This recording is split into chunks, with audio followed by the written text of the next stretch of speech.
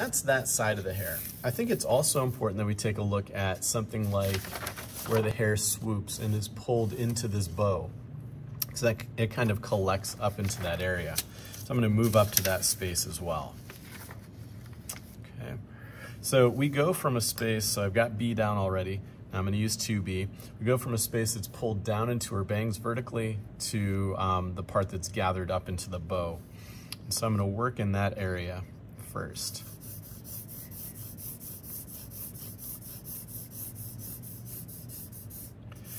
So you can see I'm making my pencil marks in the direction that I want the hair to go.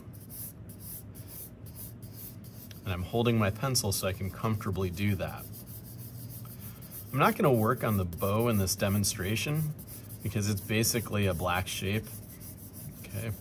Um, and so eventually I would come in and shade that bow, but I think it's more crucial right now that I build up this this area here that gathers into the bow.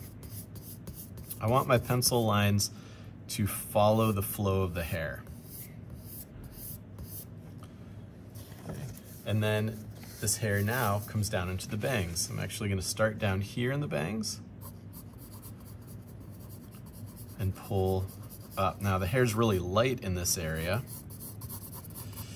so that's okay. Remember, I've got my kneadable erasers.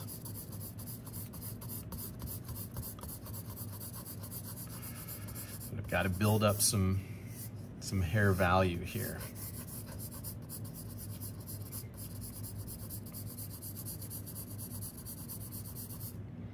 I want it to look like a physical object that's hanging down over the face. You might find that the hair gets a little darker in your drawing than it really is in real life, and that's okay. Sharpen this. But I, you know, I don't want to make Kate into a brunette, even though I may end up making your hair a little darker.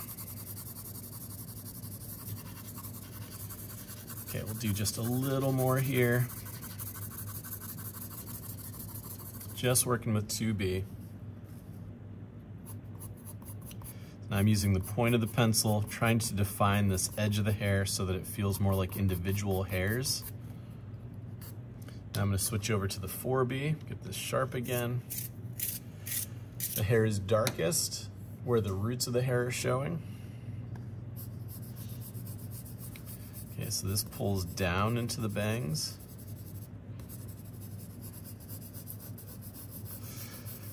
There we go.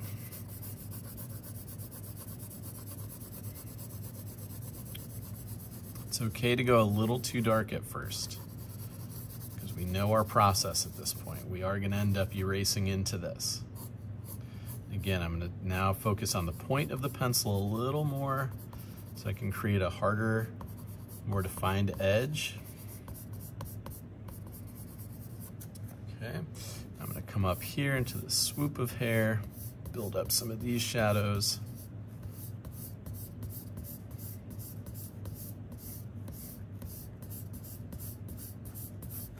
All right, now let's take that kneadable eraser and I'm gonna work on this highlight here.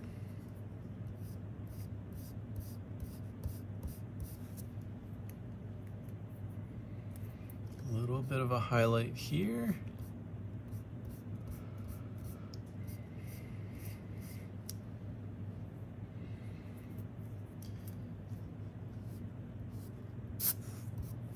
There is no magic in this process.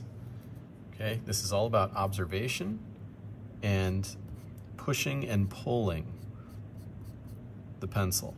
Pushing the pencil meaning I'm adding graphite to the paper and then pulling, reducing, removing things from the paper.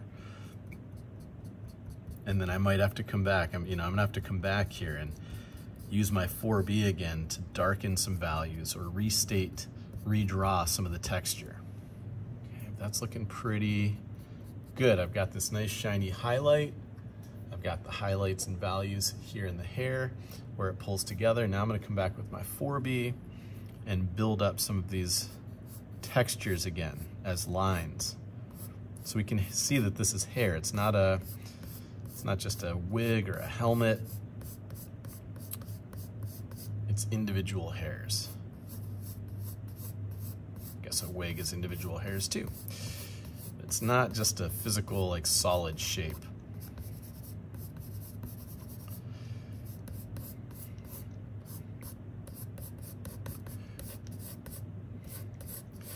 Okay, so our two big words are texture and direction. Texture and direction. And that's what I'm trying to build up here in Kate's hair.